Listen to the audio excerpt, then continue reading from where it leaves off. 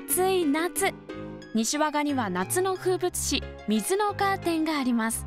一体どんなものかというと答えはお願いします。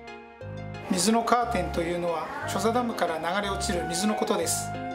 流れ落ちる水の様子がまるでカーテンのように見えることからその名前がつきました。うんまさにダイナミックな水のカーテンですねそしてこの水のカーテンことチョサダムの特徴はというと？このチョサダムは中を通り抜けることができる非常に珍しい構造となっています。通り抜ける時は流れ落ちる水を間近に見ながら通るのでその水しぶきで真夏でもとても涼しいんですよ。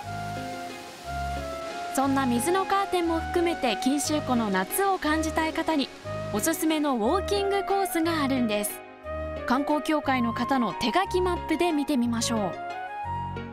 ホットユダ駅から出発するコースで距離は約5キロ。時間にして1時間半ほどです。さまざまなポイントから錦秋湖を見ることができて水のカーテンを通るなど西和賀の夏を感じていただけると思います。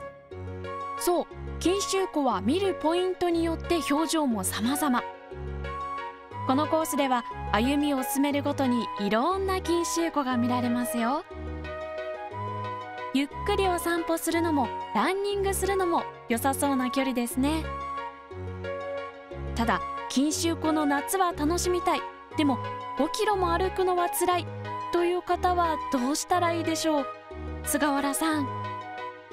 5キロも歩けない。という方には駅前の夢プラザでレンタサイクルも用意していますのでそちらをご利用ください。ユダダム錦秋湖は完成してから今年でちょうど50周年を迎えます。